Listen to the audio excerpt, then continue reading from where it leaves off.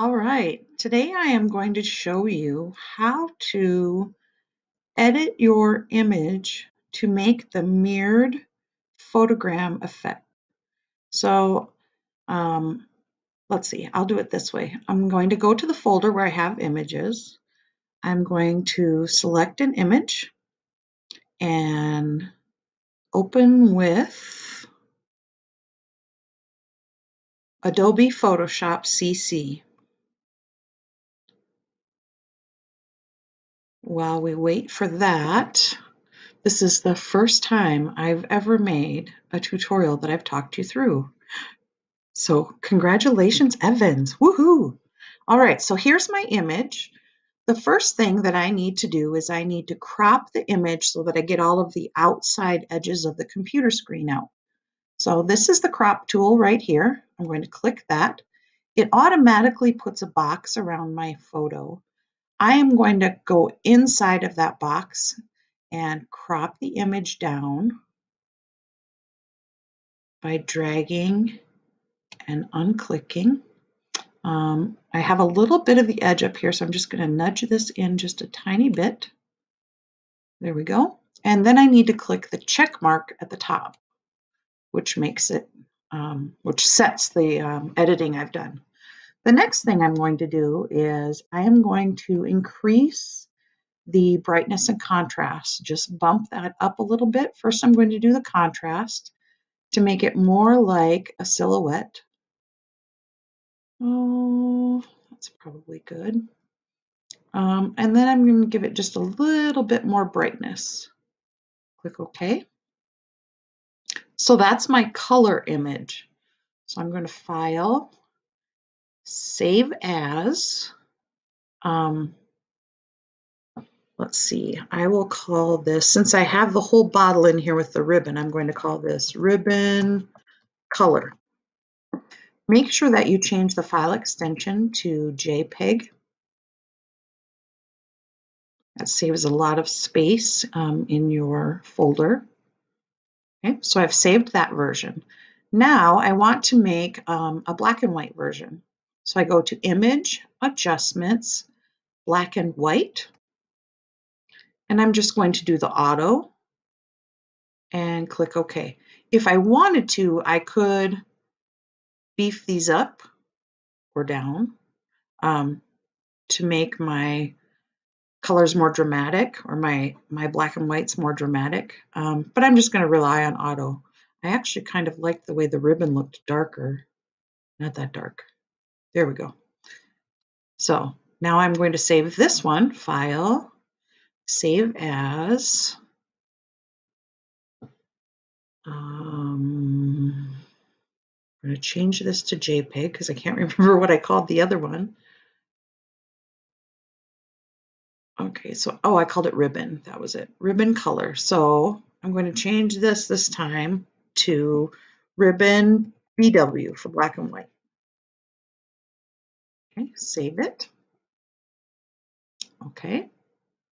So here's my black and white version. I'm going to invert that image adjustments, invert, and it will turn it the opposite values. So I will save that one as well. Save as, let's see, I called it ribbon BW invert. Change this to JPEG. Save. Okay. Now I want to open the color version as well. So let's go back here. Find my color version. Here we go. All right, so now I want to invert this one. So I'm going to go Image, Adjustments, Invert. Ta-da! File, Save As and I'm going to add invert to the end of that. Okay, so I have just made four different images. Let me find them here. They all should be titled ribbon. So here's my original ribbon black and white, and then the inversion. Here's my original ribbon color and the inversion. I really like the color of this one because I love how the ribbon um, is the opposite color. So I am going to go back to Photoshop and I have them both open on here. There's the color version. Oh, I don't have them open. So I'm going to close that.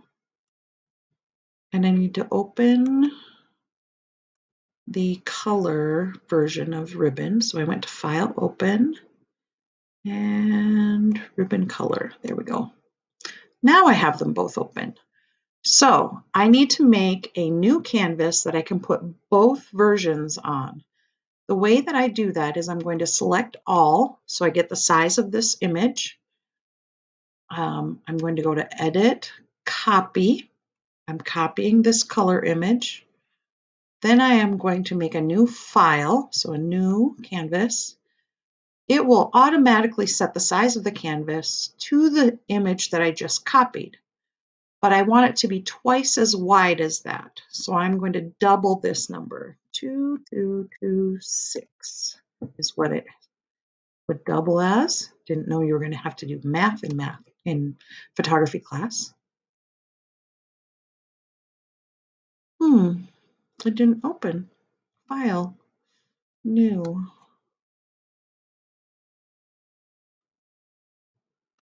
Two, two, two, six, create.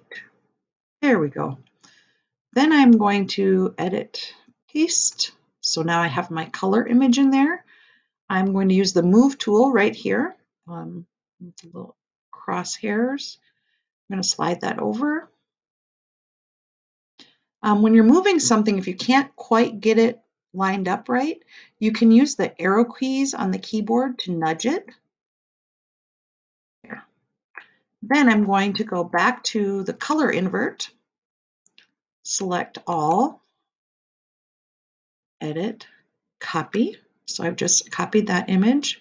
I'm going to go to my new canvas, edit, paste. You can use control keys if you want to learn them but it is a good idea to know where um, things are at on the toolbar. So I'm going to nudge this a little with my move tool. There we go.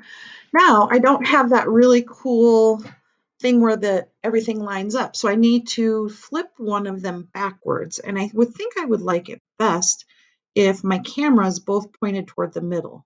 So over here, um, I'm going to click on the layer that has the color image because that's the one I want to edit. I'm going to go up to Edit, down to Transform, and then I'm going to go Flip Horizontal. And it flips it just perfectly. Now I want to look really close and make sure that things that are supposed to be lined up look accurate. Um, I'm still on the Move tool.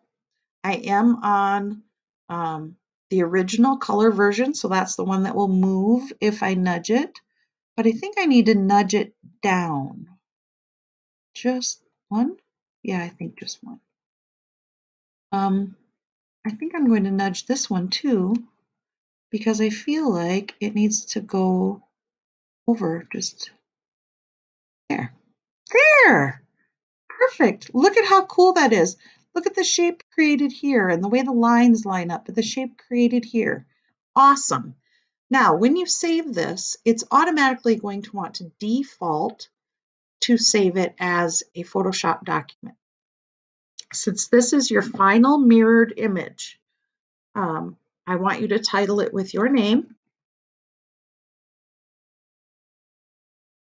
Dash, and then photogram mirror.